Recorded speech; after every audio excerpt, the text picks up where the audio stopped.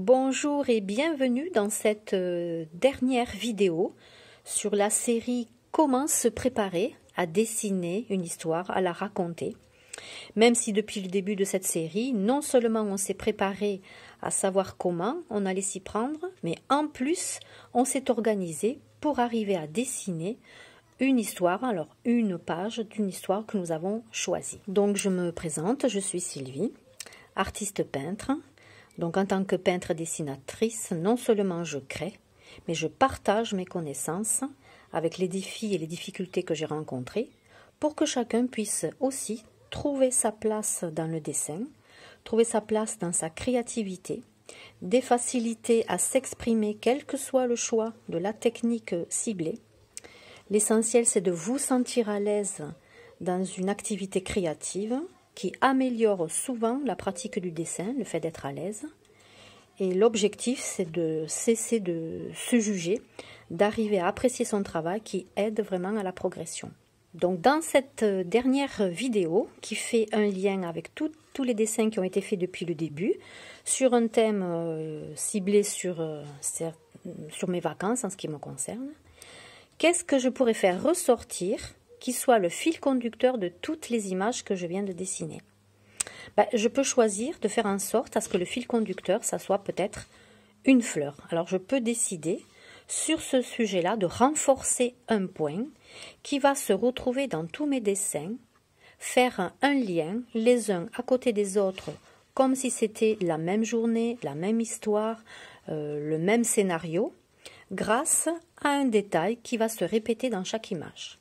Alors je vais essayer pour le premier à faire ressortir par exemple une fleur en gardant ma zone grise au, niveau de la technique, donc là j'ai plutôt pris euh, le graphite, et décider dans un coin gauche ou droit de mon sujet de renforcer une fleur. Alors c'est ce qu'on va faire. Donc je peux reprendre le dessin que j'avais déjà fait euh, au crayon de papier classique dessous et le renforcer, c'est-à-dire appuyer légèrement sans le contourner partout, comme si je commençais et je ne finissais pas. C'est juste une histoire de renforcer un endroit de mon sujet pour continuer à raconter une histoire en illustration qui aura un thème euh, précis, un titre précis, avec un fil conducteur comme une toile de fond qui se voit sans nom mais on va la sentir pour atteindre un objectif esthétique, personnel, puisque c'est votre histoire que vous racontez, et que vous installez un fil conducteur sur chacun de votre, chacune de pages que vous avez dessinées. Pardon. Donc là, c'est un sujet de fleurs que j'ai choisi, que je ne vais pas faire tout, euh, tout dans tout le travail. Je vais juste donner détail à chaque page dessinée. Je peux renforcer des zones d'ombre, reprendre la photo de base qui m'a inspiré cette scène. Savoir m'arrêter, il faut que ça soit très court, c'est pas obligé d'être aussi euh, long pour autant que ça soit long pour ce qui est des dessins. Et m'arrêter sur le fait de raconter une histoire, comme on le fait oralement, des fois on donne des détails, en laissant le reste dans le flou parce que ce n'est pas le plus important selon l'objectif fixé. Et là, hop, stop, on peut s'arrêter là. Ici, je vais détailler cet endroit. Et pour ce sujet du dessin, qui était la première page de mon bloc dessin, on va s'arrêter là. Ok? À la suite.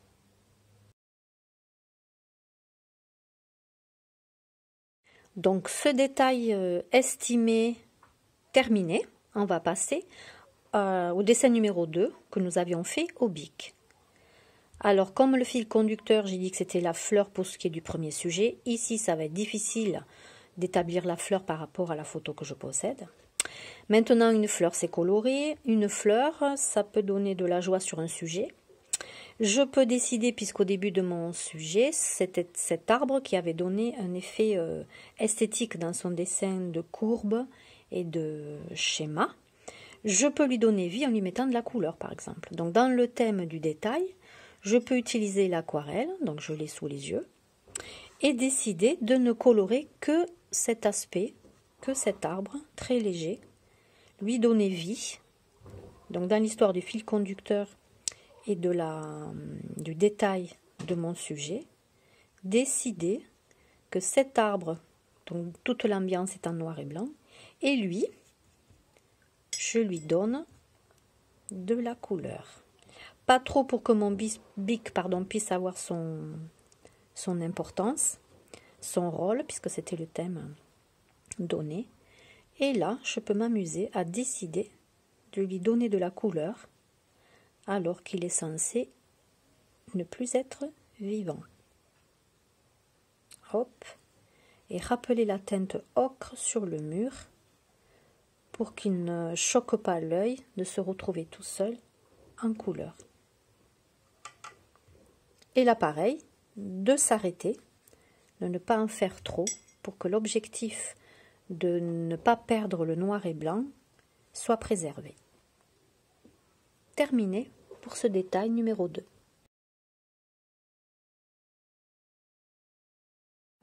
Alors pour euh, savoir comment choisir un détail qui va mettre en valeur, l'idéal c'est de toujours garder l'objectif du départ, c'est-à-dire que si je voulais faire du noir et blanc, le préserver. Donc si une teinte doit alimenter mon côté esthétique, elle va être sobre. Je ne vais pas, pour mon cas, pour l'objectif que je me suis fixé, y mettre un rose fuchsia ou un rouge, même si ça pourrait être esthétique, mais ce n'est pas en lien avec l'objectif de cette page de dessin. Donc, l'ocre était le bienvenu dans cet espace. Maintenant, on passe au suivant. Donc, on avait vu au feutre cette, cette histoire à raconter. Comment est-ce que je vais renforcer un détail qui sera le fil conducteur de mon histoire dans ce bloc? Mais ben, Comme j'avais commencé avec les fleurs au début, on va continuer avec les fleurs. Alors, comme j'en ai déjà fait des roses, voire des jaunes, je vais choisir la couleur marron que je retrouve déjà ici, donc elle n'est pas choisie par hasard. Je peux choisir aussi le rose pour détailler, mais je pense qu'il ne se verra pas assez pour cette mise en valeur d'un seul endroit. Donc le marron peut être comme effet de loupe.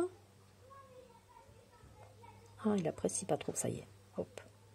Pour créer quelques-unes de mes fleurs dans des teintes plus appuyées, plus détaillées comme si mon œil, mon zoom, privilégiait cet endroit. Et comme au premier, donc je commence et je finis pas, des coups de crayon qui euh, donnent une finesse dans notre sujet, sans lui attribuer un travail complet. On n'est pas obligé. Ce sont des détails qui n'étouffent pas tout le reste du travail. Donc je ne les fais pas en entier.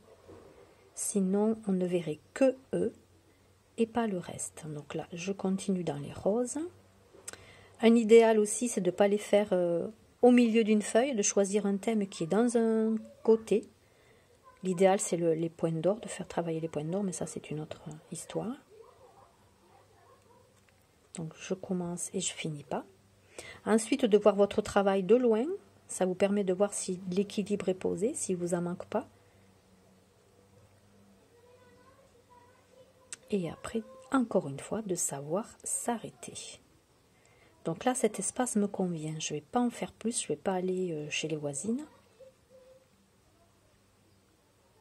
Je commence. Je finis certains, mais pas tout. Et ça va être la fin de mon fil conducteur pour ce qui est de cette page, pour avoir un détail qui est marqué et hop, de savoir s'arrêter. Donc la teinte que j'ai choisie, on se rappelle, elle n'est pas par hasard. Je la retrouve ici. Ça n'est pas une supplémentaire pour pas qu'on se retrouve avec euh, une teinte nouvelle qui pourrait accrocher l'œil dans l'esthétisme de notre sujet. Et là, stop, on s'arrête. Là, donc là, c'est la suite de notre activité. Nous avions choisi les crayons de couleur aquarellables pour ce parc où nous avions donc notre banc et nos hortensias. Qu'est-ce que je vais faire ressortir en détail? Un seul petit endroit qui mène au fil conducteur de l'ensemble de mon sujet, bien là, j'ai les fleurs. Donc je peux utiliser donc euh, les hortensias pour garder mon thème. Alors de deux choses l'une, ou je le fais au feutre, euh, pas au feutre, quoique si, je peux le faire au, faire au feutre à redessiner, ou je le renforce au crayon de couleur, aquarelle, ou je prends le pinceau et je renforce mon détail avec le pinceau aquarelle et l'eau. Qu'est-ce que je vais faire? Eh bien ma tête elle me dit, eh bien le pinceau et l'aquarelle. Même si je peux le faire au feutre pour détailler euh, dans l'esprit euh, du fil conducteur, de faire ressortir mon sujet. Alors, j'ai mouillé mon pinceau. Au cas où il soit trop mouillé, je le fais dégorger sur le papier et je dépose à coup de pinceau le pigment qui est du, lié donc à mon crayon de couleur sur mes hortensias. Là, pareil, je ne fais pas tout. Je déploie mon coup de pinceau humide sur une partie rosée de mon crayon. Je ne fais pas tout pour que le blanc surtout puisse me donner toujours ma zone de lumière. J'ai des fleurs euh, roses, j'en ai des jaunes.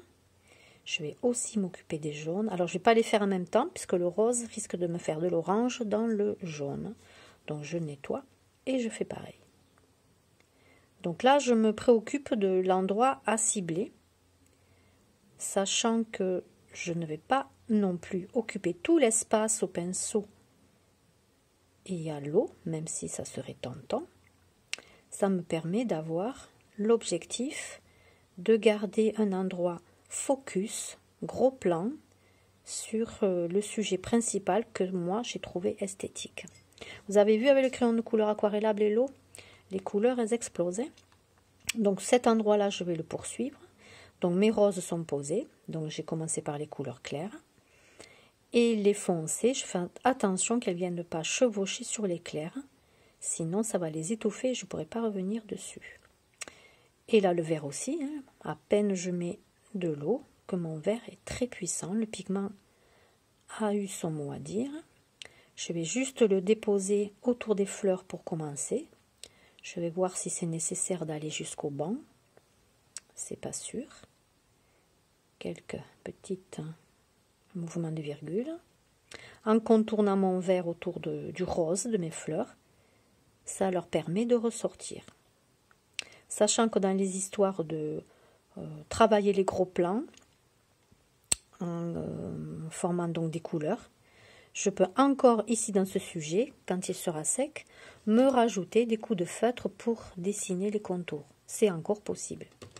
Maintenant, trop en faire, ça risque de se retrouver dans un sentiment envahi qui va enlever la beauté de votre sujet ou l'esthétisme. Et ça serait dommage d'avoir ce sentiment. Comme j'ai dit au début, l'idéal c'est de toujours être à l'aise dans son acte à dessiner, content de son travail, ne pas se juger à l'excès qui euh, freine les progrès quand c'est constant, d'apprécier ce que l'on fait et qui ouvre par contre la progression dans notre évolution artistique. Donc là aussi, je vais me dire stop, pour marquer cet endroit-là. Alors comme il y a une, un verre qui domine, je vais lui faire un petit rappel ici sans qu'il soit dominant pour que l'équilibre soit respecté. Et là, on s'arrête. Hop, stop. Ici, j'aurai mon détail de fleurs qui sera le fil conducteur, la suite du fil conducteur de mon dessin, avec donc mes hortensias qui ont un peu plus de présence avec euh, le pinceau et l'eau de l'aquarelle.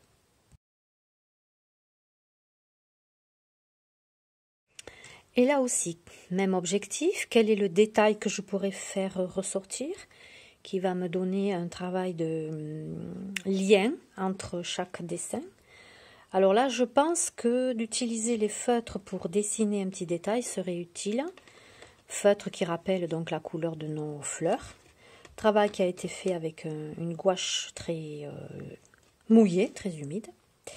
Donc ce que je peux faire, alors sans que ça soit centralisé, parce que là, la fleur est centrée, si je veux garder les esthétiques ou les points d'or, même si ce n'est pas une règle que nous avons vue, je peux forcer sur celui-ci, forcer sur celui-ci, sauf qu'ils sont trop extrêmes.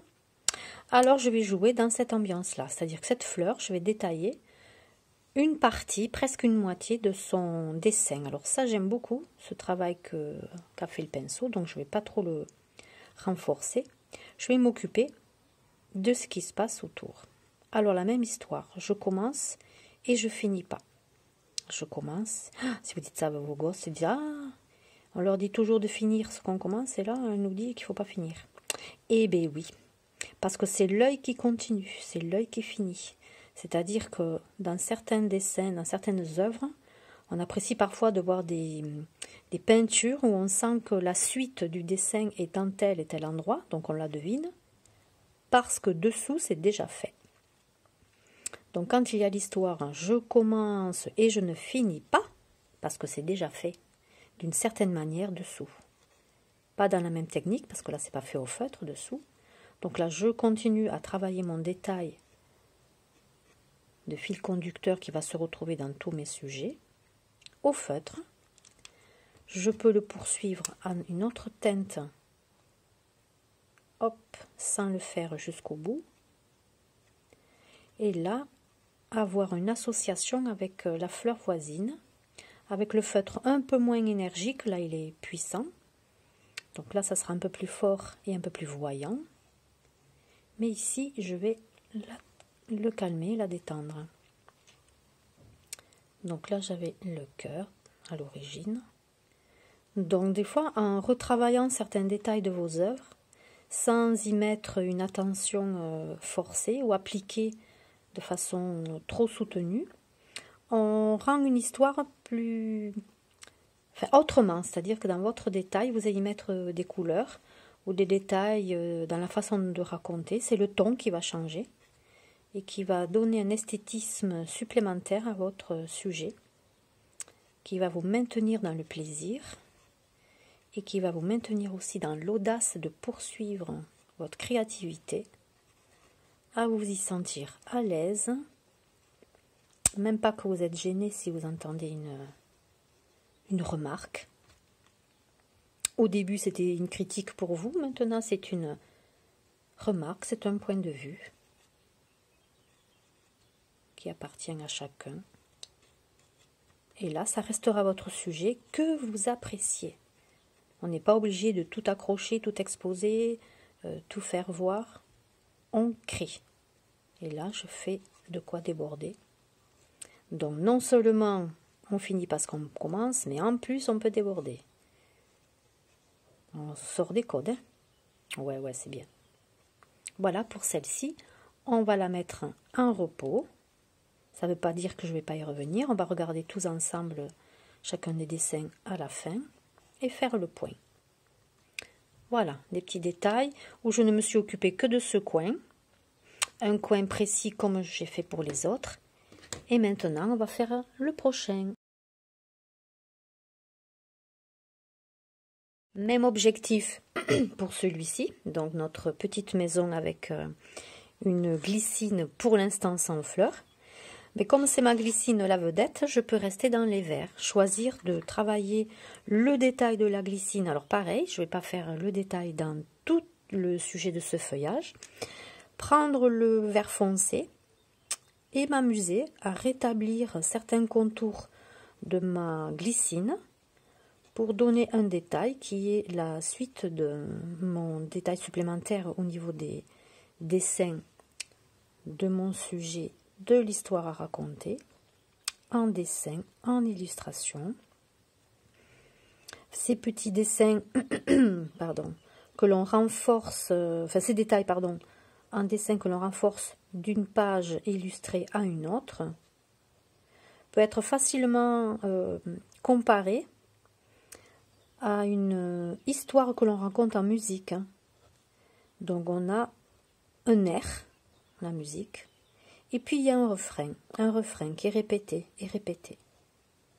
ben là, ces petits détails, c'est ce que je répète. Ça peut être le refrain, le fil conducteur de ce petit, euh, pas carnet de voyage, mais euh, carnet de croquis, de quelques dessins pour cette série.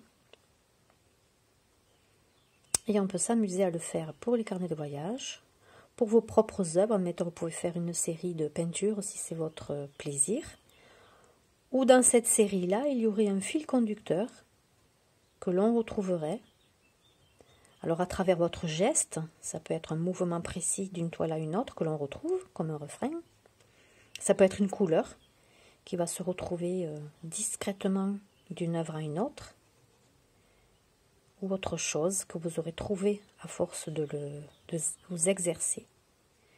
Et ça, quand on s'ouvre à la, à la création, à la découverte, il y a des choses qui arrivent, c'est la surprise, c'est vraiment le plaisir. Donc du coup, dans l'histoire de surprise, je peux décider dans ce sujet, donc mes vers sont renforcés, de là où je suis, je le vois, donc j'espère qu'avec voilà, de me permettre de rajouter dans certains petits coins, discretos, des teintes qui rappellent la glycine. Donc là, un petit dessin, je commence, je finis pas. Je commence, je finis pas. Des dessins de glycine qui ressortent, discrètes, mais elles y sont une petite zone d'ombre, discrète mais elles y sont, pour que mon plaisir de raconter un petit détail sur une journée, comme celle-ci, soit mentionné. Voilà, pour lui, ça sera la glycine. On va faire maintenant le point. Donc euh, là, ce sont les détails que nous allons regarder. Chaque détail nous mène au fil conducteur que nous a permis de raconter notre histoire en dessin. Donc là, il s'agit d'un petit détail en fleurs du premier dessin au crayon de papier. Au bic, j'ai choisi, nous avons choisi de mettre de la couleur sur le tronc qui était censé être mort et qui est mort. Donc cet arbre n'est plus en vie, mais comme il avait une jolie euh, géométrie, le, lui rendre une certaine vie est agréable et ça a été le détail en couleur.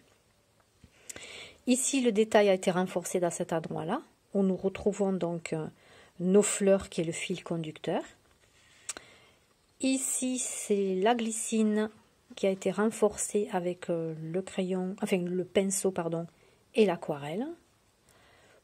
Pour nos fleurs peintes à la gouache, notre détail au feutre a renforcé l'histoire à raconter. Avec le fil conducteur, je ne fais ressortir que ça. Et pour notre glycine, c'est pareil. C'est notre crayon feutre aquarelle qui a renforcé le dessin que j'ai voulu faire ressortir. Donc voilà l'histoire du fil conducteur, de l'histoire à raconter tout en se préparant avant. Et quand vous vous préparez avant, bien sûr, vous savez où est-ce que vous pouvez aller. Vous pouvez travailler avec une seule technique sur plusieurs pages consécutives ou alors plusieurs, comme ce que nous venons de faire, pour le plaisir de votre créativité et surtout de vous sentir de plus en plus à l'aise avec votre art, votre pratique et votre plaisir. Laissez-moi des commentaires en fonction de vos besoins, ce que vous avez apprécié, ce que vous aimerez. Abonnez-vous à cette chaîne et vous redécouvrirez pardon, plein d'autres petits secrets que je peux vous partager. À bientôt!